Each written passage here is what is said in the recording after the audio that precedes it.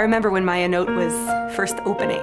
I was so excited to hear about this when Maayanot first started, it was considered totally maverick. It was started by a group of people who it was very important to them that Rav Lichtenstein be the first posek of the school. Rav Lichtenstein believed in full experience of Talmud Torah, of learning, and therefore he opened the doors with full endorsement of women's um, Gemara education. Allowing women to be exposed to learning Talmud will only better enhance their Yiddishkeit, their Yirat Shamayim. And I see it in my daughters. They love to learn. They do learn, they continue to learn as students of Torah. Maayanot has definitely had significant impact on literally the entire world of modern Orthodoxy. Maayanot, when it was founded, created a model. It was giving women the opportunity to teach Torah in a way that was not being offered at the time. And they set, they set a new standard, pioneering the way to have female Talmud teachers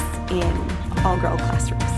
And they always say to me, it's from the faculty of Maayanot. Women who are Torah scholars that become their role models. Current students and graduates of Maayanot are incredible role models. They engage in chesed on behalf of so many vital organizations. You could pick them out as young women who have a confidence, who have leadership skills, who have the ability to speak up and express themselves with pride about what they believe in. Maayanot students are unique in their passion combined with their humility, which doesn't take away from their self confidence. They know that they have something to contribute to this world. I think they're given a tremendous amount of empowerment. This Yeshiva High School deserves community wide support.